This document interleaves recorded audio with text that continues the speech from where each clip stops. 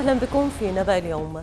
طلب المجلس الرئاسي للحكومة المقترحة من البعثة الأممية طلب من مجلس النواب منحه مهلة أخيرة لتقديم التشكيلة الوزارية. وقد أكد مصدر للنبأ أن المجلس الرئاسي طلب أسبوعا آخر ينتهي الأحد القادم. هذا وكان المصدر أوضح أن المجلس الرئاسي أتم ما وصفه بالمرحلة الأولى من النقاش بتحديد الشكل الوزاري الذي تضمن 12 وزارة وقد أشارت مصادر إلى جدل يحيط بتشكيل الحكومة المقترحة من البعثة. سنناقش في المحور الأول من برنامجنا تداعيات فشل المجلس الرئاسي في تقديم تشكيلته الحكومية على مسار الصخيرات بعد انتهاء المهلة المحددة له. على أن نبحث في المحور الثاني البدائل المحتملة لمسار الصخيرات. نتابع التقرير التالي ومن ثم نبدأ الحوار. بعد فشل المجلس الرئاسي لحكومة الوفاق المقترحة من البعثة الأممية إلى ليبيا في تمرير تشكيلته المكونة من 32 حقيبة وزارية أمام مجلس النواب في التاريخ المنصوص عليه. يعود من جديد إلى مدينة الصخيرات المغربية مسرح توقيع الاتفاق السياسي لبحث تشكيلة حكومية مصغرة. مصادر مقربة من المجلس الرئاسي أكدت أن المجلس طلب من مجلس النواب منحه أسبوعا كمهلة أخيرة لعرض تشكيلته الجديدة المتكونة من 12 وزيرا بحسب المصادر التي أشارت إلى اكتمال المرحلة الأولى من النقاش حول الشكل الوزاري للحكومة المقترحة. المكتب الإعلامي للمجلس الرئاسي بدوره أفاد بأن أعضاء المجلس يعملون على وضع اللمسات الأخيرة للتشكيلة الحكومية في الصخيرات المغربية موضحا بأن طلب المهلة يأتي على خلفية حاجة أعضاء المجلس التسعة للوقت الكافي من أجل دراسة السير الذاتية للمرشحين. يأتي هذا في الوقت الذي أثير فيه الجدل داخل المجلس الرئاسي حول خرق بنود الاتفاق السياسي عبر خطوات منفردة قام بها رئيس المجلس فائز السراج حيث دعا عضو المجلس صالح المخزوم لعقد جولة حوار استثنائية برعاية البعثة الأممية. وفي ظل فشل رئاسة حكومة الوفاق المقترحة في التوصل لتشكيلة نهائية تطرح على مجلس النواب في المهلة المحددة بحسب ما تم التوقيع عليه في الصخيرات المغربية هل سيكون لهذا الفشل تداعيات على مسار الحوار الأممي ككل؟ وما هي البدائل المحتملة لهذا المسار؟ وللحديث عن هذا الموضوع ينضم إلينا هنا في الاستوديو عضو المؤتمر الوطني العام السيد محمد مرغم كما ينضم إلينا عبر استديوهاتنا في طرابلس المحلل السياسي السيد فتحي الفاضلي. وينضم إلينا عبر الهاتف عضو مجلس النواب السيد زياد دغيم كذلك عبر الهاتف كبير الباحثين في المجلس الأطلسي السيد حافظ الغويلة وعبر الهاتف أيضا المحلل السياسي السيد محمد فؤاد. مرحبا بكم جميعا ضيوفنا الكرام. وإذا بدأنا معك سيد محمد مرغم يعني كيف تفسر فشل المجلس الرئاسي للحكومة المقترحة من البعثة في تكوين أو في التوصل إلى تواصل إلى توافق حول التشكيلة الحكومية؟ بسم الله الرحمن الرحيم. الحمد لله والصلاة والسلام على رسول الله. الصلاة والسلام. هو الفشل هذا متوقع لأن هي أصلا لب الاتفاق السياسي كان تعبير عن حاجة المجتمع الدولي إلى حكومة. هي هذا إذا فشلوا في في تكوين الحكومة ففشل الاتفاق السياسي. لأن هذا هو قطب الرحى. كل ما يدور حول نعم. الاتفاق السياسي هو مرهون بالحكومة وحتى الترتيبات الأمنية والإجراءات القادمة كلها بتترتب على وجود حكومة إذا لم يتمكنوا من وجود حكومة فلا أعتقد أن نعم. الاتفاق السياسي له مستقبل في نعم. البلاد يعني هل تريد القول بذلك بأن الاتفاق أو اتفاق الصخيرات الموقع عليه وكذلك صادر بقرار من قبل مجلس الأمن الأمن جاء نتيجة لإصرار المجتمع الدولي وليس لرغبة الليبيين الحقيقية نعم لإنهاء الانقسام هو المجتمع السياسي. الدولي. هذه هي تعبير عن حاجة المجتمع الدولي لا أكثر.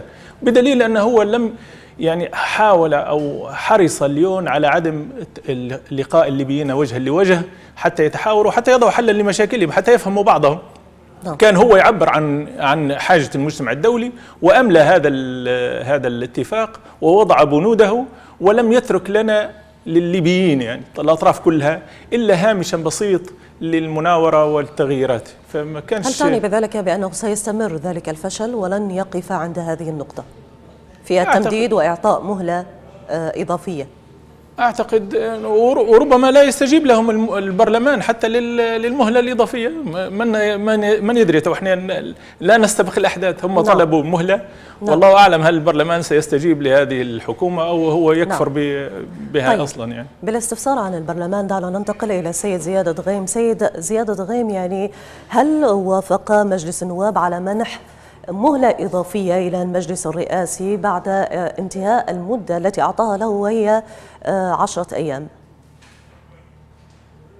آه، شكرا لحضرتك وتحية لضيوفك الكرام والمشاهدين. مجلس النواب لم يعطي مهلة وأعتقد جميعا استمعنا أن يوم الأحد أن المجلس الرئاسي قد طلب المهلة وربما يحصل بنهاية الحوار الليبي. أيضا مجلس النواب لا يملك بالاكثريه العادية أن يمنح آه هذه المهلة لأن هذه المهله المهلة 10 أيام منصوص عليها في الإعلان الدستوري الليبي القائم حتى هذه اللحظة.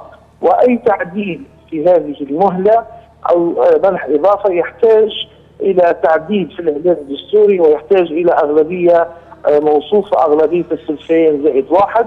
وبالتالي لا دستوريه لهذه المجلس الرئاسي ولا لهذه المهله ولكن نحن الآن للأسف الشديد آه، ليس نعم. الموضوع موضوع يعني قانون سيد سيد زياد فقط إذا استوقفك عند هذه النقطة. دولية تفرض على الليبيين نعم سيد زياد يعني هل تقول بذلك بأنه آه، لا يمكن لمجلس النواب إعطاء مهله التي طلبها المجلس الرئاسي؟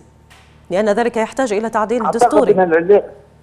نعم أعتقد الاعلان الدستوري الليبي الذي ورثناه كمجلس النواب ولم نصيغه نحن واضح في هذا النص أن في حالة الحكومة لم تنجح في التشكيل الأولى عليها خلال عشرة أيام بتقديم تشكيل الثانية. نعم. لا يملك مجلس النواب حتى إن اراد وهذه حقيقه مجلس النواب لم لم يعطي مهله ولكن نعم. حتى لو أراد مجلس النواب لا يستطيع أن يفعل ذلك إلا بإجراء تعديل في الإعلان الدستوري. نعم. وبالتالي و... هذه المجلس الرئاسي قد خالف الإعلان الدستوري القائم حتى هذه اللحظة وبالتالي قد خالف حتى مسوده الاتفاق السياسي الذي يرتحل إليها المادة السادسة من مسوده الاتفاق السياسي ونص على احترام القوانين والإعلان الدستوري القائم.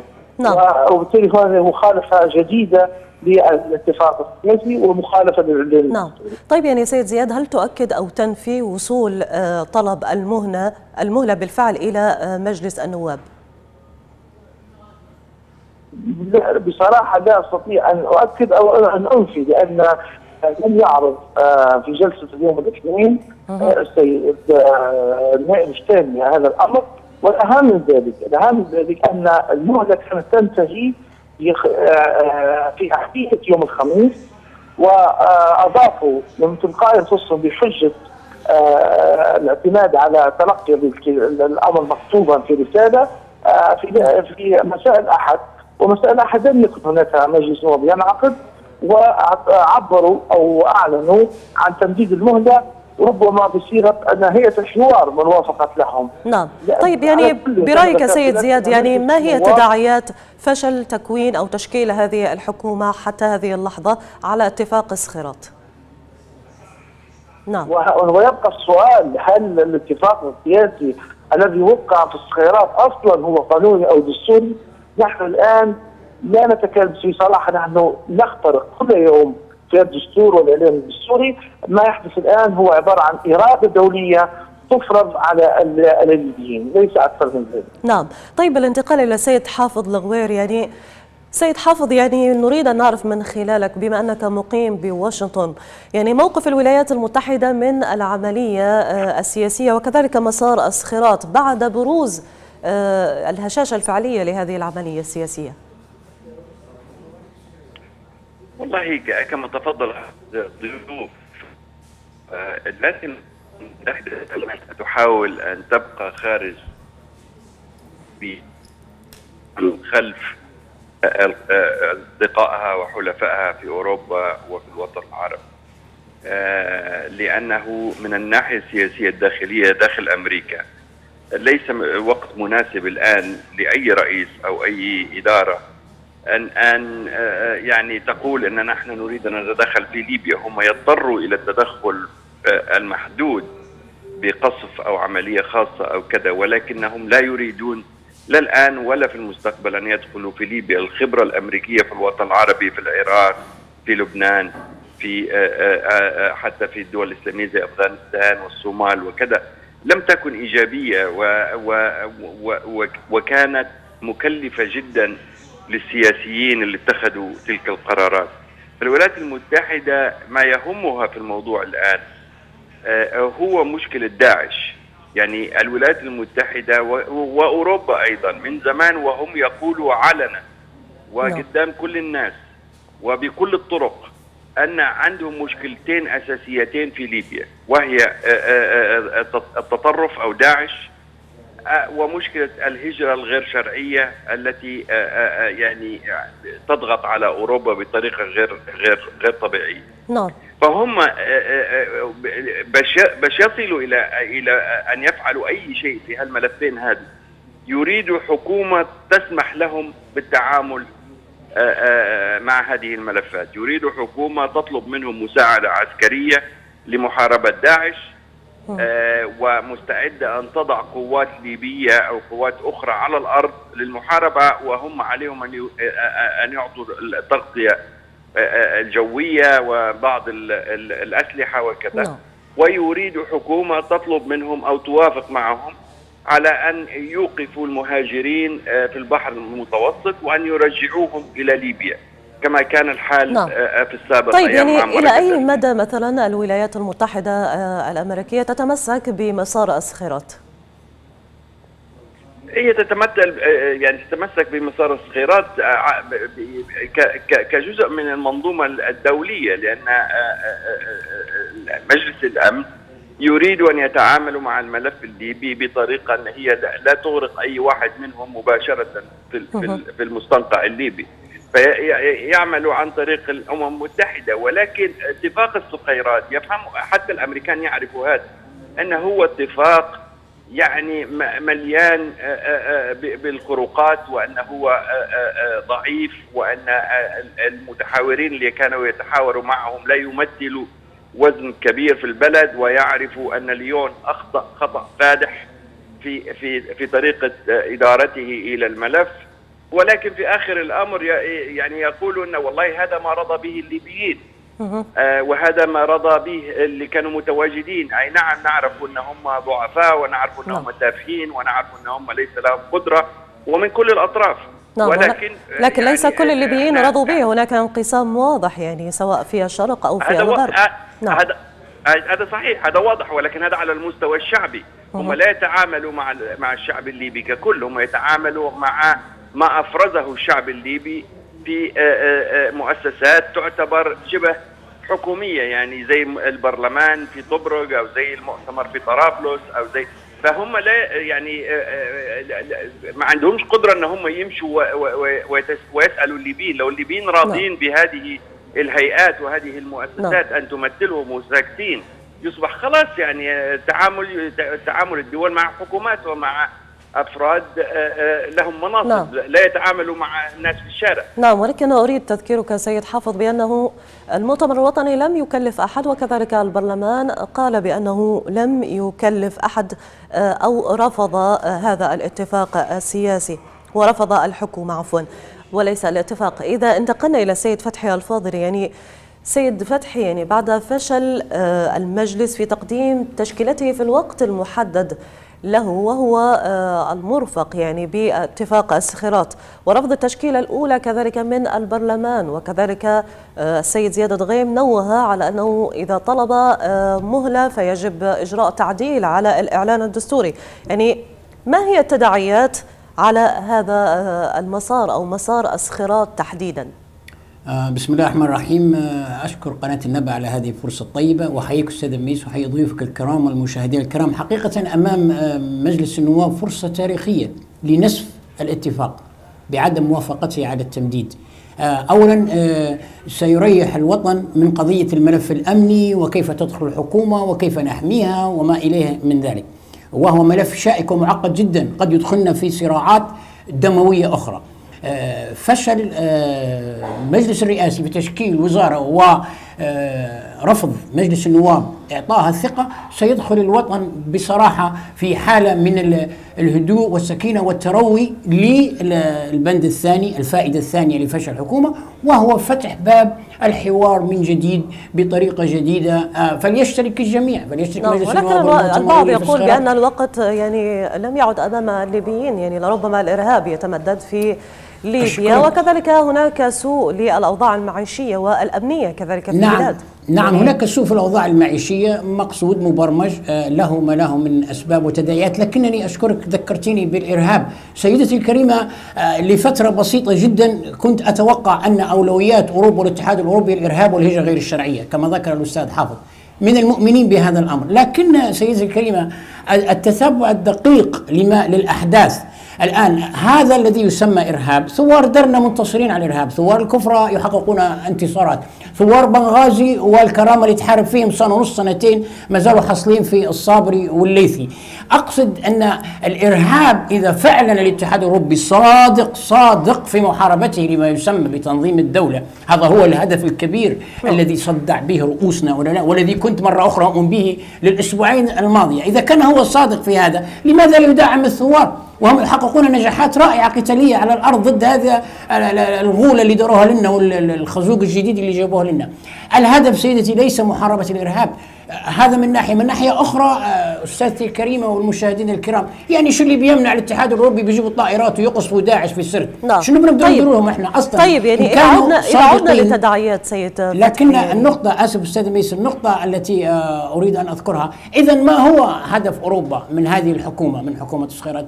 هي احتلال اقتصادي للوطن يريدون حكومة أعطوا لرئيس الحكومة صلاحيات رهيبة جدا في توقيع عقود في خلال شهر بس. يبيع آه، يسلم الوطن لش... قد تكون حتى مشاريع جيدة ولا غير جيدة لا أدري. لكن الأهداف الأساسية اقتصادية وليس هدف الإرهاب. ولذلك مرة أخرى أتمنى أتمنى أن تفشل آه، حكومة الصخيرات وأتمنى ألا يوافق النواب حتى ندخل في نفق اتفاق جديد حقيقي معا. نصل به إلى البلاد إلى بر الأمان نعم. ونصل به إلى حفظ ثروات بلادنا ولا مانع من التعامل مع المجتمع الدولي والمجتمع الغربي اقتصاديا لكن بإرادتنا وبوجهة نظرنا وبرؤانا آه، كليبيين. نعم طيب قبل الانتقال إلى السيد محمد فؤاد يعني سيد محمد فؤاد بعد كل هذه الإخفاقات في المسار السياسي للإسخيرات يعني ماذا أبقت من ثقة في هذا المسار؟ وكذلك ما هي التداعيات المحتملة عليه؟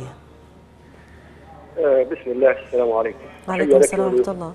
آه، في الحقيقة أنا أعتقد أن الجواب يجب أن يكون بطريقة أخرى. نعم. آه، مسار سواء مسار حوار الصراط أو غيره من المسارات كلها كما هو واضح ستنتهي إلى فشل يعني.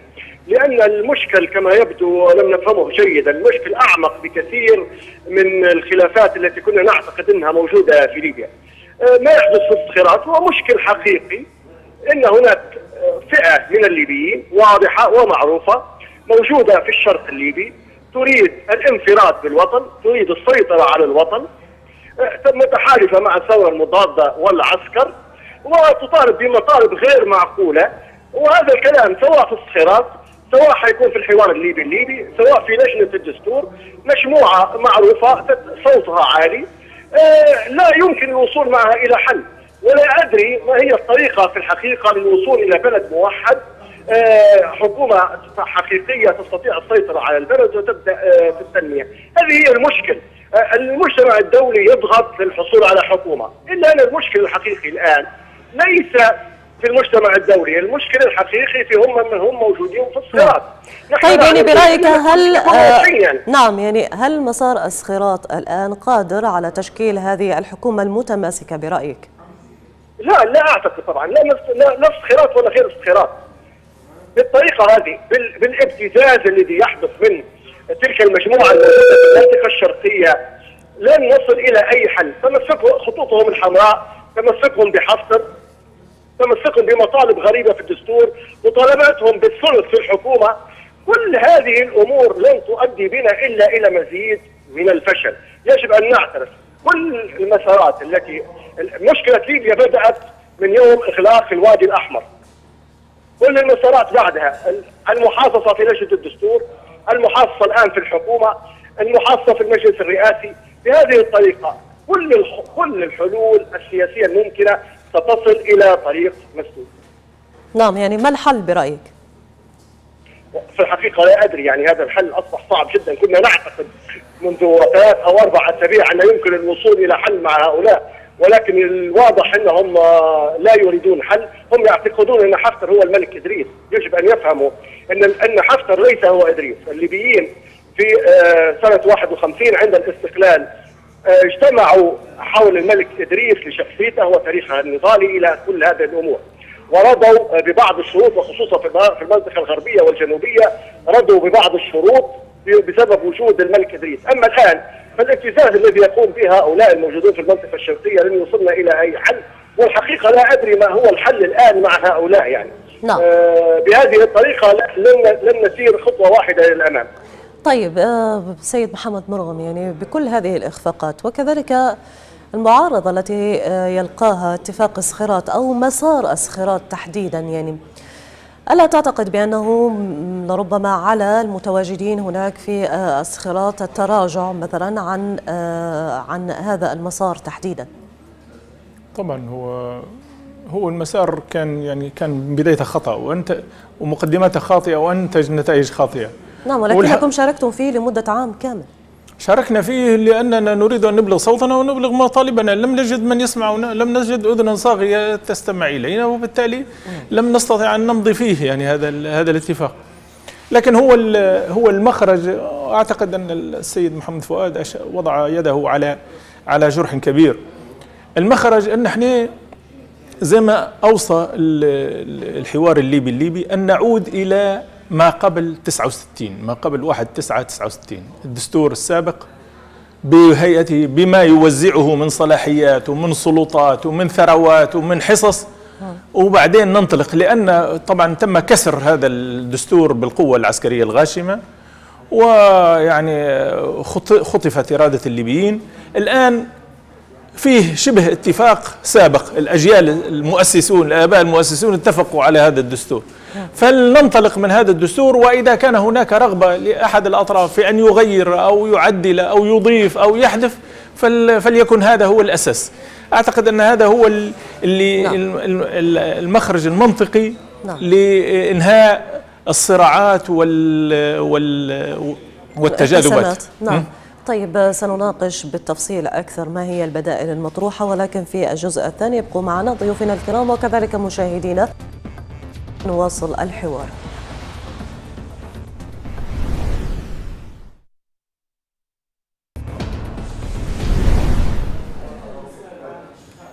أهلا بكم من جديد مشاهدينا الكرام. سنبحث في هذا الجزء عن البدائل المحتملة لمسار الصخيرات وبالعودة إليك من جديد سيد محمد مرغم. يعني كنت ذكرت قبل الفاصل بأنه لربما الحل الأنجع للبلاد الآن هو للعودة إلى الدستور على ما كان عليه في آه، التسعة وستين. هل هناك نعم.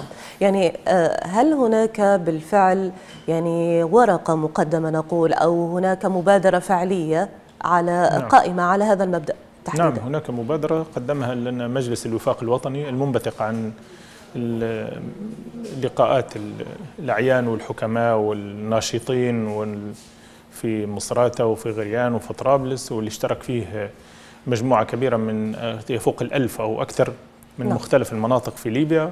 وأوصلوا لنا هذه الورقة هذه مبادرة مجلس الوفاق الوطني انبثق عنها لجنة الواحد وعشرين. تمثل المناطق الثلاث. وكان أساسها هو العودة إلى دستور 63 ويتم تتم انتخابات بناء عليه يقوم المؤتمر الوطني يعني في الوقت هناك مجلس للشيوخ وكذلك مجلس الشيوخ واعطوا هذه أليس هذا متطابق مع الدستور الذي قدم أو المسودة الثانية التي قدمت من لا. آه، الهيئة التأسيسية لصياغة الدستور والتي يرفضها الكثير؟ أنا لا لم أطلع على المسودة الثالثة وتفاصيلها هذه نعم. المسودة الأخيرة نعم. لكن الدستور اللي كان موجود في السابق وعمل به وخضع له الليبيون أو امتثلوا له ولم يثوروا عليه الحقيقة ثارت عليه فئة من العسكريين الفاشيين نعم. قاعد بقاياهم حفتر بقيتهم قاعد نعانوا في آثاره نعم. فرضي به الليبيون وتحاكموا إليه و... وأسسوا حياتهم المدنية على أساسه فهذا ممكن يكون منطلق لكن هذا لن يكون الكلمة النهائية. الدساتير في العادة تستجيب للمتغيرات وال طيب أعطينا مزيدا من البدائل. يعني البعض يقول بأن المؤتمر آه، يعارض مثلا الاتفاق السياسي في أسخرات لكنك لا تعطيني الحل هذا هو البديل. الأزمة السياسية اليوم, اليوم المؤتمر الوطني في شبه اتفاق على قبول هذه المسودة. وفتح الباب فقط لما إذا كان هناك آراء يعني نعم. لبعض الأعضاء أو بعض الناش... الاتصال من بعض الناشطين نعم. لمزيد من التنقيح يعني وال... ما سيأتي بعد هذه المبادرة التي طرحت أو هذا الاتفاق يعني انتخابات جديدة وكذلك تجري انتخابات يختار المجلسان مجلس النواب ومجلس الشيوخ يختاران رئيس دولة يحلوا مشكلة الرئاسة العريضة هذه يعني رئاسة ال هذه رئاسة الدولة لابد أن تكون في عند شخص طبيعي في مسؤوليات لابد أن يقوم بها شخص طبيعي في شخص رئيس الدولة. آه، يختاروا أو ينتخبوا بطريقة غير مباشرة رئيس الدولة ورئيس الدولة يعين رئيس الحكومة ويعرض الحكومة على على المجلسين المجلس التشريعي أو مجلس الأمة. ثم لفتره محدودة. لا تتجاوز. هم هم مطولينها شوية الجماعة. يعني إحنا كان عندنا رأي أن كثير يعني لنهاية 17 ل 2017 فهم يعني لفترة انتقالية لين تتهيأ البلاد امنيا ويعني نفسيا ولاجراء انتخابات. وتجرى انتخابات للمجلسين أيضا. ثم ويخرج المؤتمر الوطني ومجلس النواب الحالي. الأمني ما هو الحل؟ هل سيصبر الشعب مثلا إلى 2017؟ لا هو إحنا مست يعني وهذه المشكلة التي هذه واحدة من النقاط نعم التي يناقشها دائما المجتمع الدولي وهي الهجره نعم. غير الشرعية وكذلك داعش. هو المجتمع الدولي يعني يعرف أسباب هذه يعرف أن الهجرة الشرعية ليست مولودة في في ليبيا يعرف أنها مشكلة مجلوبة نعم. من الخارج من دول مستقرة ولديها جيوش ولديها حكومات. لماذا؟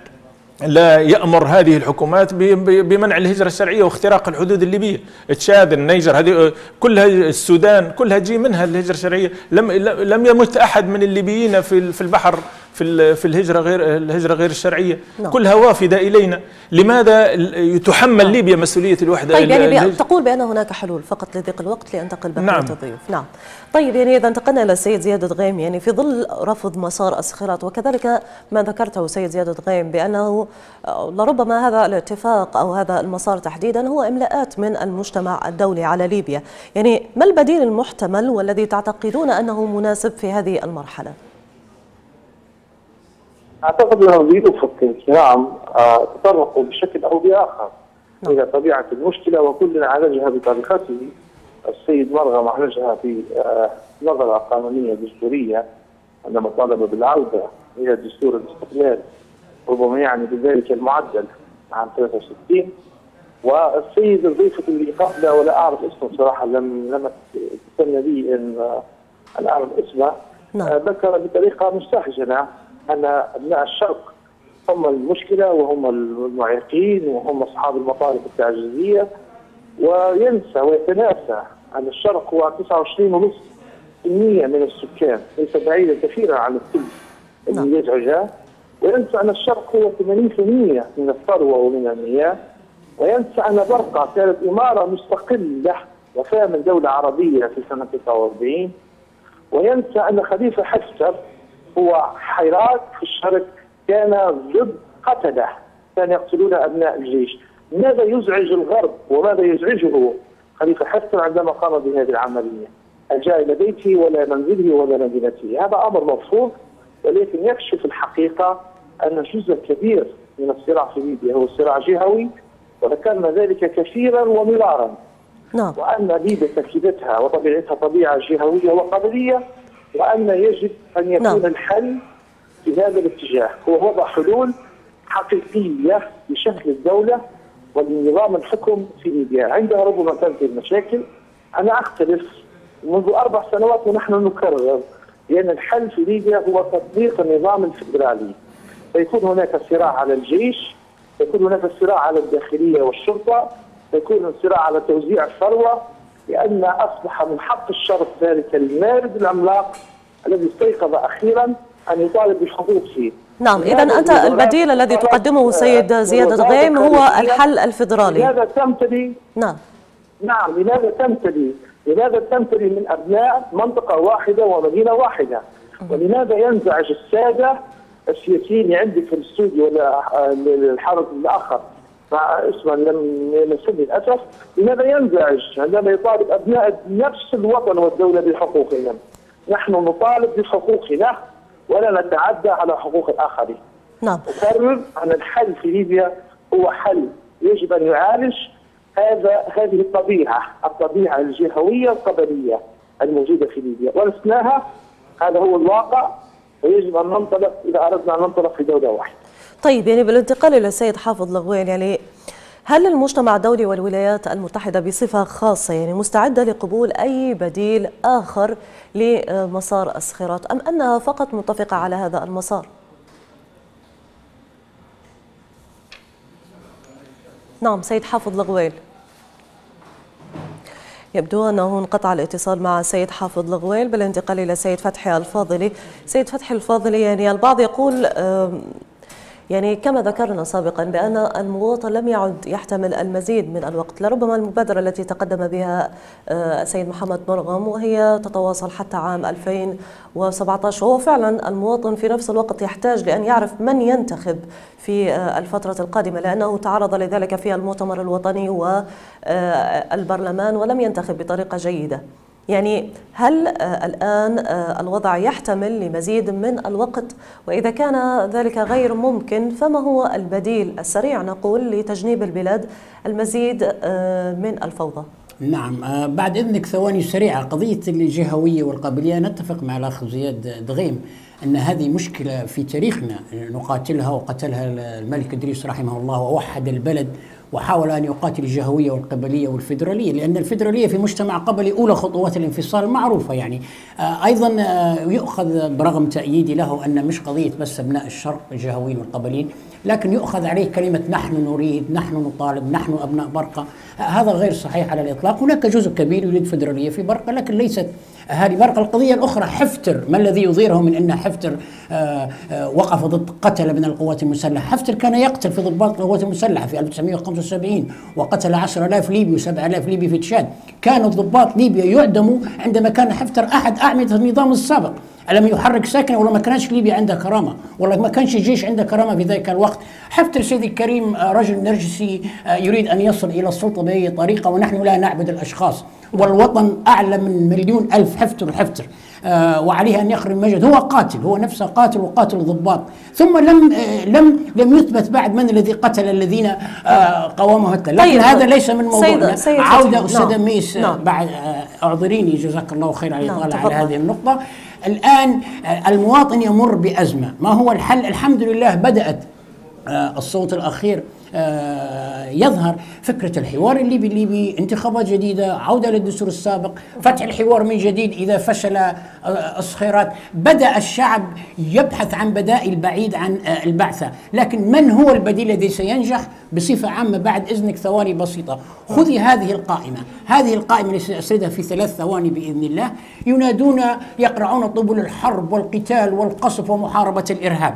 عندك أستاذتي الكريمة الكرامة مجلس النواب. الاتحاد الأوروبي البعثة الأمم المتحدة المجلس الرئاسي والفسخيرات والسيسي وحفتر جميعهم وحكومة الأزمة حكومة الأزمة جميعهم جميعهم سيدتي الكريمة يتحدثون عن القتال والقصف ورفع الحظر عن الجيش ومحاربة الإرهاب صوت خطاب دموي قتالي نعم. الصوت المدني الوحيد الصوت المدني الوحيد اتفقنا مع المؤتمر أو لا نتفق اتفقنا مع حكومة الإنقاذ أم نتفق وهذا كل مواطن يستطيع أن يتتبع هذا الأمر بنفسه. الصوت المدني إذا يتحدث على دولة مدنية هو المؤتمر وحكومة الإنقاذ.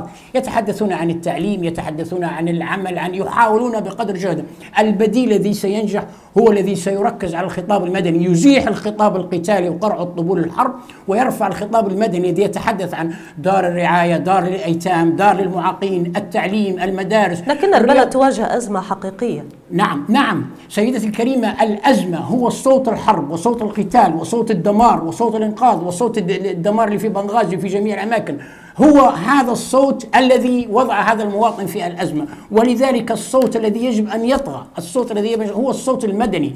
نحن الآن شبعنا دماء وقتال ونزيف. علينا أن نتحرك إلى خطاب مدني خطاب يتحدث مرة أخرى على الصحة على التعليم على المواطن على الأزمات على أن نجد جسم جسم تشريعي انتخابات جديدة وجوه جديدة هيئة جديدة لا تتحدث إلا على الخطاب المدني. أما قضية تنظيم الدولة فهو مفتعل ومخترق وأداء نعم. في يد قوة أخرى. نعم يعني في المجمل سيد فتحي يعني ما هو واجب؟ أحيانا آه، يكون غير واقعي بدليل أننا غير قادرين كليبيين على التوحد على كلمة واحدة وإنهاء ذلك الانقسام أعتقد السياسي. أعتقد آه كلامك سليم جدا واقعي لكنني أعتقد اعتقاد جازم إذا طغى الصوت المدني صوت تأسيس الدولة الليبية المدنية لا أحد يعترض. من يعترض على آه أن, أن, أن نعم. ينزاح الصوت القتالي وقبول الحرب والقتال والدم ورفع الحظر عن الجيش والمؤسسة العسكرية وحفتر والصنديد ومش عارف الكلام الخملج الفاضل اللي الدم لم يتوقف حتى يعني من سيعترض سيدتي الكريمة جميعنا سنتفق ونتمحور حول الصوت المدني الهادي ال الذي سيدخل بنا إلى بناء الدولة والعناية بالمواطن. طيب حقيقة سيجد هذا الصوت زخم نعتقد بإذن الله يتقدم بنا إلى خطوة أخرى مستقبلية. طيب عاد إلينا السيد حافظ لغويل يعني سيد حافظ لغويل هل المجتمع الدولي والولايات المتحدة خاصة يعني مستعدة لقبول أي بديل آه، سياسي آخر غير مسار اسخرات؟ طبعا نعم. آه ما يهم المجتمع الدولي هو أن يكون هناك طرف آه جدي يستطيع أن يعتمدوا عليه في آه، محاولة الوصول إلى مصالحهم اللي هي محاربة الداعش والهجرة. آه، ومن يستطيع أن لهم هذا وبعض الذكاء والدبلوماسية يستطيع أن أن أن أن يقنعهم أن يقفوا معه. يعني أنا من زمان وأنا أقول لو معمر قدافي يرجع الآن على قيد الحياة هم مستعدين أن يتعاملوا لأن على الأقل في أواخر سنواته عندما آه، طبع الأمور معه. استطاع وصلوا معه إلى اتفاق وكان آه، يعني آه، آه، فعلا عهوده معهم فهم ينظروا إلى ما فعلوا في 2011 نعم. أو ما حدث في 2011 على أساس إنه خطير لم لم يكونوا يتصوروا أن سيتسلطون في ليبيا بكل أشكالهم. سيدعوا الأمور إلى هذا السوء الذي يهدد مصر. مش بس في في في في حرب الإرهاب والمهاجرة ولكن يهدد مصالح أمريكية في البحر المتوسط وفي شمال أفريقيا وفي أفريقيا. يعني الانهيار الكامل في ليبيا وهذه التفرقة وهذه القتال وهذا وهذا روح الانتقام التي سادت الخمس سنوات الماضيه وهذا النهب الاموال وكذا وما زال يحاولوا أن يتتبعوا وين الأموال الليبيه ماشية آه وهل تصل إلى جماعات إرهابية أخرى و والآن عندك جماعات آه من بوكو حرام إلى جند الله إلى قريب أفريقيا آه ينضموا إلى إلى إلى داعش وفي مناطق أخرى. هذه استراتيجية يعني في الأخير السياسة بالنسبة لهم مسألة مصالح وواقع مش مسألة من هو الشخص اللي يحبوه ولا يحبوه. نعم. طيب يعني آه، بالعودة للسيد محمد فؤاد يعني بعيد عن التنظير وكذلك الاصطفافات السياسية والحزبية يعني هل فعلا هناك إمكانية لإيجاد بديل لمسار أسخرات في الوقت الحالي؟ وهل الظرف الليبي يحتمل وقت آه، أو مزيد من الوقت لتنفيذه على الأرض؟ لا طبعا لا شك أن الوضع الليبي لا يحتمل المزيد. ولكن طبعا أشكر جدا السيد زياد بغير لأنه كان واضح وصريح يتحدث يعني سنة 2016 يتحدث عن القبلية والجهوية التي ستبني دولة. هل يمكن فعلا بناء دولة مع من يتحدث بهذا المنطق؟ هذه هي مشكلة الليبيين. يعني فعلا المؤتمر الوطني يتحدث بلغة كما قال السيد محمد مرغم والسيد الفضلي بلغة مدنية يبحث عن حلول آه انتخابات ودولة جد دولة جديدة دولة على أساس مدني بينما للأسف الشديد إخواننا الموجودين في الشرق المسيطرين على الوضع في الشرق ان هم أقلية ولكن صوتهم عالي يتحدثون عن القبليه والجهوية وحقوق فرقه يعني كلام لا يمكن قوله سنة 2016 هل يمكن فعلا بناء دولة حقيقية مع هؤلاء هذا هو السؤال الحقيقي يجب أن نتخذ قرارات ويبدو أننا سنتخذ قرارات صعبة ومصيرية حتى نتمكن من المسير قدما. نعم. للأسف الشديد الموجودين هناك طردوا أكثر من 200 ألف من سكان بنغازي موجودين في المناطق الغربية من ليبيا. ولا زال يستمرون يعني يقول قاعد يتحدث عن شخص مثل حفتر على أنه أنقذهم وكذا. هم في الحقيقة يستغلون حتى حفتر لأن مطالبهم كما قال السيد الغيم هي مطالب جهوية ضيقة جدا تضم على عقلية متخلفة نعم. عقلية طيب يعني بعيدا عن الرد عن السيد زياد دغيم يعني هو عبر عن رأيه وهو حر في ذلك. يعني آه إذا عدنا إلى البدائل المطروحة حول آه يعني آه مسار اسخرات تحديدا. ما هو البديل الأقرب لذلك؟ هو طبعا لو لو يعني بغير ما مسار الصراط اللي قال السيد محمد مرغم وهو العودة إلى دستور آه، المملكة الليبية هذا حل منطقي جدا وقد طلبنا به من قبل يعني. هذا كان خطأ جسيم للمجلس الانتقالي. الآن المشكل ليس هنا. هل يعود الدستور بالملك أو من غير الملك؟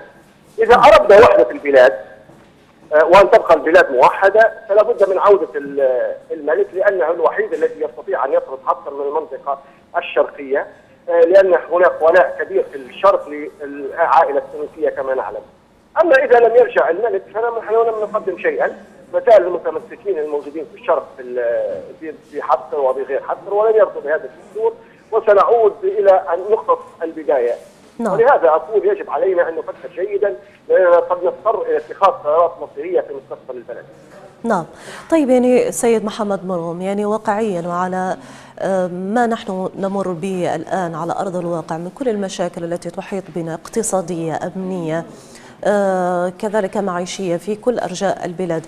يعني ما هو الحل السريع غير الانتخابات مثلا؟ الانتخابات نعم. المرفقة حول الوفاق. والله في في ضوء الضغوط الدولية دي أو الضغوط الدول الجوار واللي لتأجيج الصراع. هو مشكلة لو ترك الليبيون وشأنهم لممكن وصلوا إلى حلول. حتى مع إخواننا في الشرق ممكن نصل إلى حل وممكن نصل إلى اعتراف. لكن لا تنسى بأن الليبيين أنفسهم هم من طلبوا هذا التدخل. من الذي يطلب الليبيين هم من طلبوا دور البعثة الأممية في ليبيا لحل النزاع القائم بين النزاع السياسي القائم. لكن هي هل تدخلت للنزاع هي البعثة الأممية والعالم الخارجي؟ تدخل في السيادة الليبية عندما أنكر أو تنكر لحكم المحكمة والمحكمة والمحاكم عادة أكبر مظهر من مظاهر السيادة في الدولة هو سريان قانونها وأحكام قضائها على إقليمها لما تدخلوا ورفضوا الاعتراف بهذا الحكم هم كسروا السيادة الليبية ووجدوا من الليبيين من له مصلحة في هذا وتعاملوا معه و... نعم. وهذا هو الذي أجج الصراع كنا ممكن يعني في خلال ثلاثة أشهر من بعد حكم المحكمة كان ممكن أن نجري انتخابات أخرى لو قبل إخواننا في مجلس النواب بحكم المحكمة. وإذا اختارهم الشعب مرة أخرى فليتفضلوا وليسيروا وفقا للدستور والقواعد الدستورية. هم انتهكوا الدستور من أول يوم من أول لحظة في التسليم انتهكوا القواعد الدستورية. وبالتالي أعتقد أن هو أول حاجة في بناء الدول هو احترام القانون هو احترام القواعد الدستورية. أنت نعم. مؤسسة في أعلى سلطة في الدولة نعم. لب... أنت المؤتمن على تطبيق القانون. إذا أنت خرقت معناها خلاص المواطن نعم. يخاف على نفسه ويخاف على نعم. مصالحه وعلى حياته وعلى أمواله. نعم شكرا لك وكذلك شكرا لكل من شاركونا في هذه الحلقة. مشاهدينا الكرام وصلنا بكم إلى نهاية حلقتنا. شكرا لكم على المتابعة وإلى اللقاء.